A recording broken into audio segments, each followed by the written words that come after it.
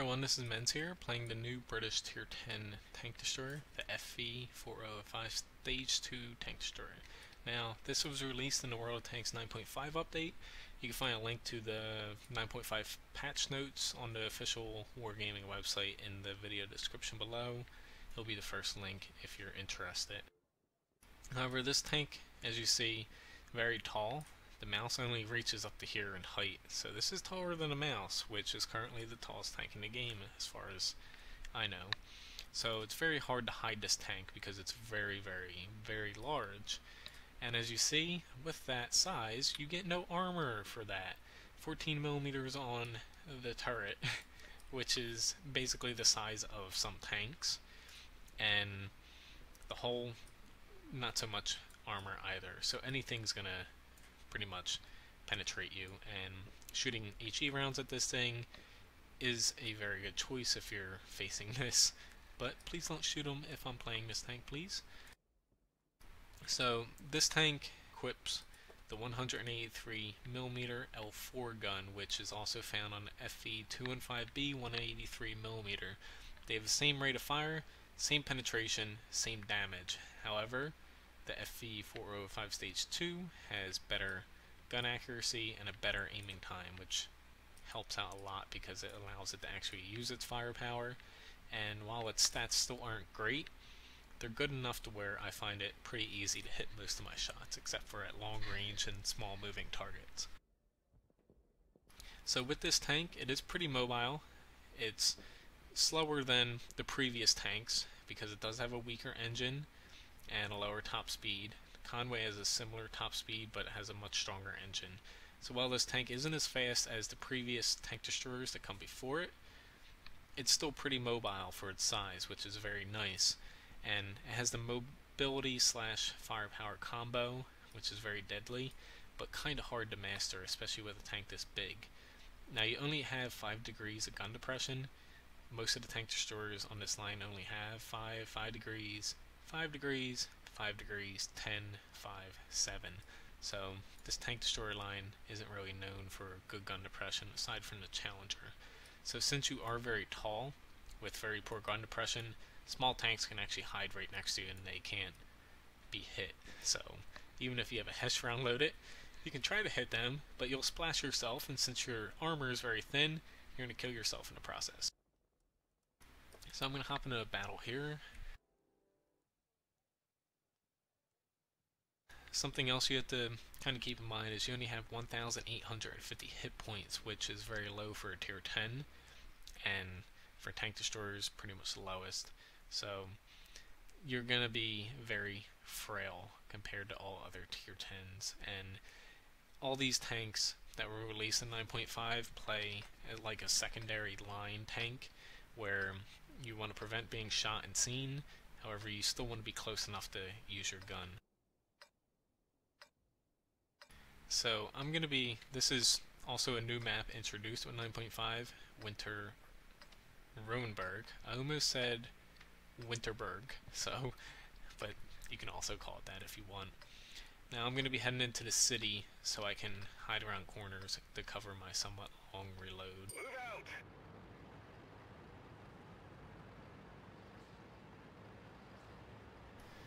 Okay, let's see. Get some people with me to cover.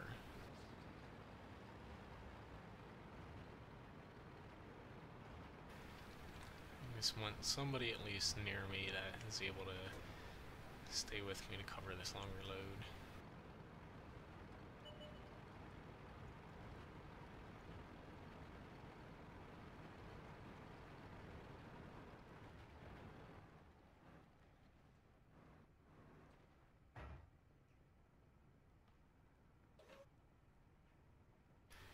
There's that 183 millimeter there.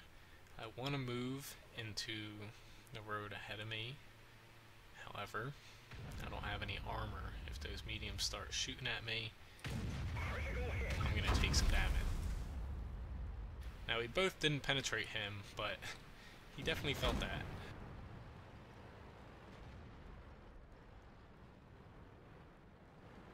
Which he should know that Even if these things don't penetrate you, they're gonna hurt.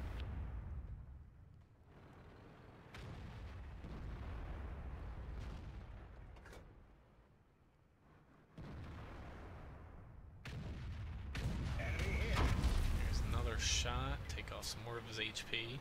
not penning him, and I do have a low ammo count, however, it's well worth it to take a tier 10 tank out.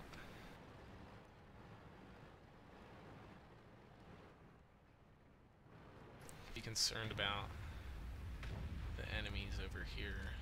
I don't want them to actually hit me. So I'm going to kind of angle in a way where I can pull up ahead to... Eh, never mind, this E100's in my way. I want to pull up ahead to be able to hide. I'm just going to stay back here. Yes, I know that there's an E100 there, right in front of him, but I want to cover him just in case.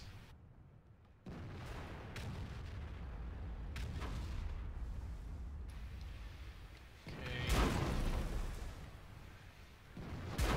Sorry, dude, which I'm taking damage too. I really want to hit this 183, but doesn't look like it's going to happen.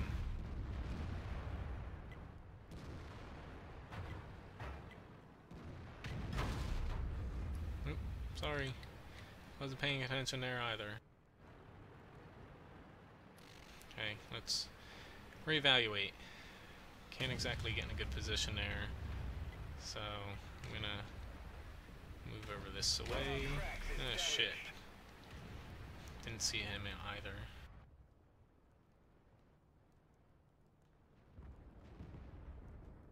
So we're pretty much stuck here for now.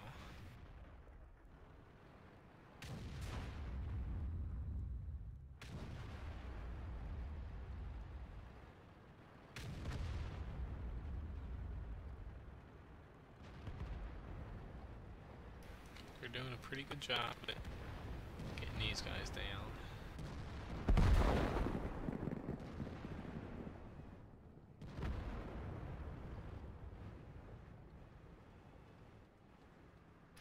Crap.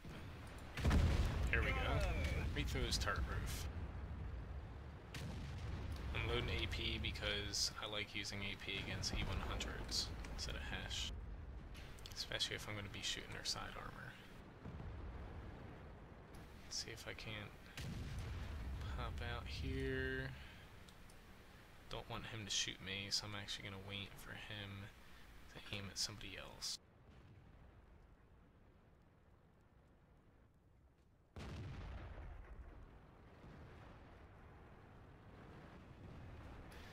Here we go.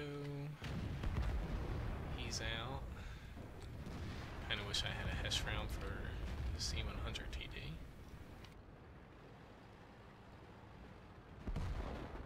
Eh, oh well. I waited too long to do any damage, but I'm still alive! And I'll take that.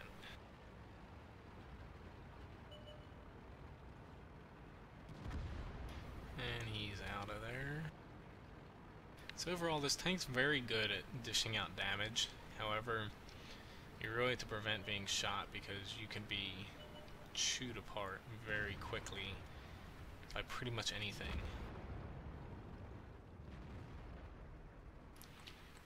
Low little SPG.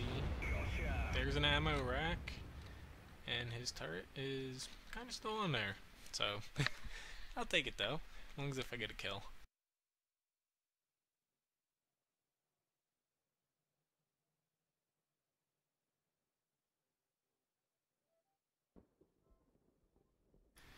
There we go, finally load it. So pretty decent match. Did 2,556 damage, 2 kills, decent amount of experience, second on my team. As far as modules go, as you see there's that VK. I took out his lower loader, hurt his turret, turret, ammo rack for the bat chat, and I lost a pretty good amount of credits because with HESH rounds, for either this tank or the other TD, you need to penetrate and do full damage for them to pay off. And in this case, I was shooting them at that VK, and while I wasn't killing him by penetrating, I was crippling him, which was my goal, but you will lose credits on these tanks with HESH rounds if you miss or don't do full damage. And the only reason why I use a lot of HESH rounds, A, you have a low ammo count, and B, the AP shells, even though they do a ton of damage per shot, you only have two rounds per minute, so your actual DPM values are fairly low for a tier 10 tank destroyer. So while you do while you do do a lot of damage per shot, it's not actually worth it in my opinion. I'd rather have a different TD. So that's why I think HESH shells are a better option. Yes, they're expensive, but it makes the tank viable. With AP shells, against certain opponents with a lot of space armor, like an E100, it's useful and can be better in a HESH shell, but this tank does need HESH shells, in my opinion.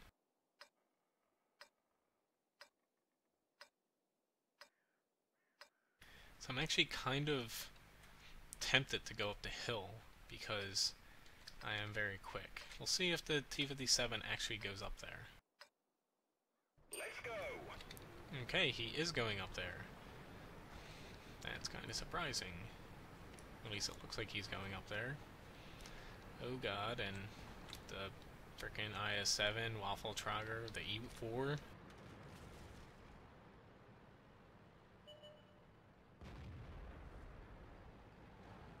So this is going to be kind of ugly really quickly.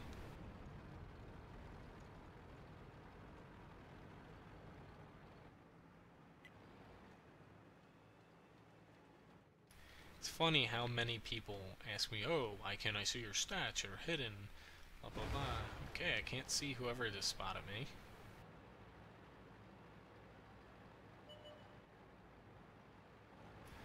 Hopefully I get by here. I may not make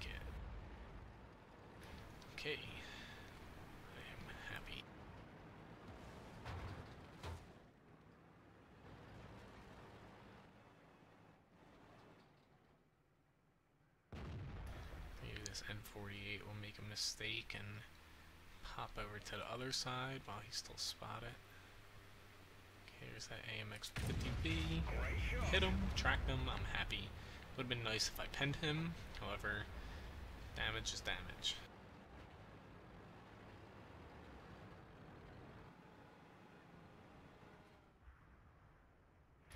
Now, if he can take out that wall there, that'll help.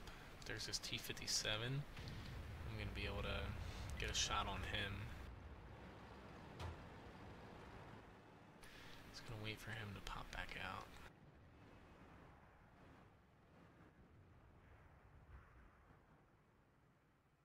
He's gonna have no choice but to back out, which I should have had AP loaded. I would have been able to kill him had I penned him.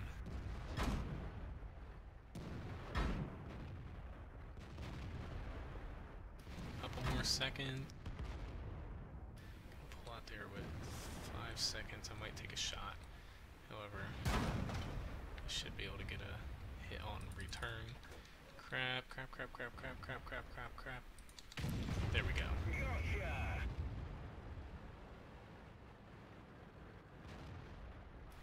Okay, so we're doing alright on this side.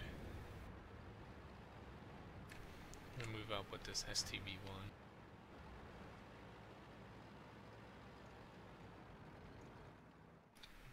I'm not going to move up just yet. He's not able to shoot over that little berm.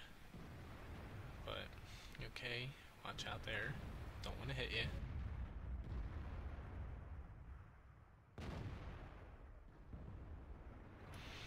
I do know I can hit that IS-7. Never mind. So I'd say I can hit that IS-7, however... No, I can't. Waffle Trigger. keep going, keep going, dude. There we go, and you're gone. So this tank, lots of firepower. You need to know the right areas to set up with to actually use that firepower.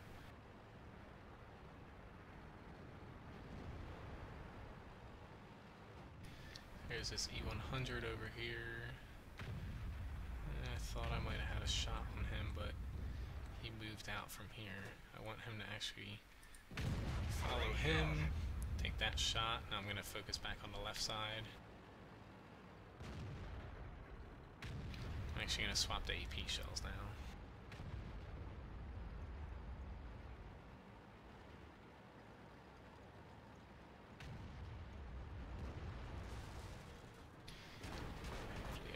Eh, he's tracked. Hold on. Betcha he wasn't expecting that.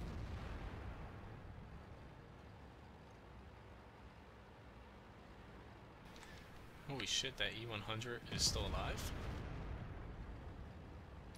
I am genuinely shocked here.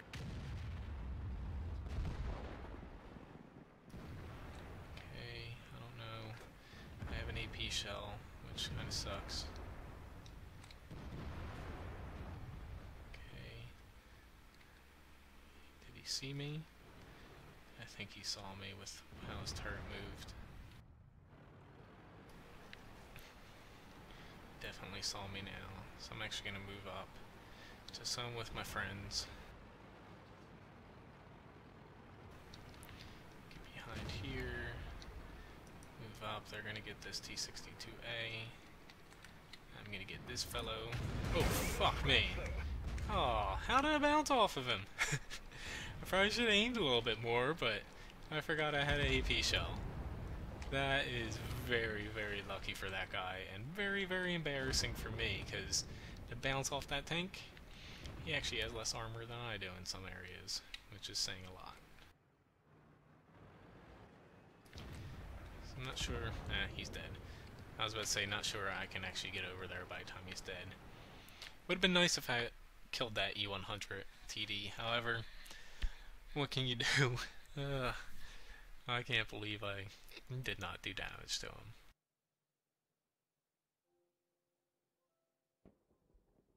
So overall, a pretty good match. Mystery badge second class. Damage-wise, I did the most amount in the match, 5,039. Three destroyed tanks. Experience-wise, got second place at T-62A. Did a really good job. But this tank, very good firepower as long as if you stay alive. Spotted for 986 damage too, so every little bit counts.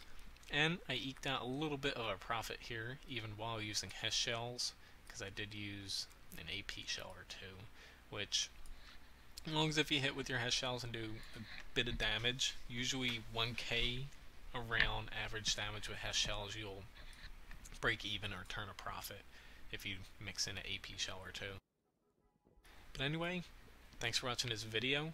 As I said earlier, you can find a full list of 9.5 notes in the video description.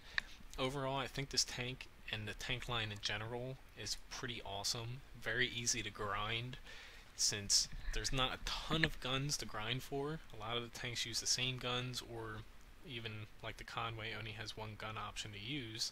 Now, you will have to grind experience one way or another same amount of experience for every tank line, just whether it's a module or unlocking the actual tank.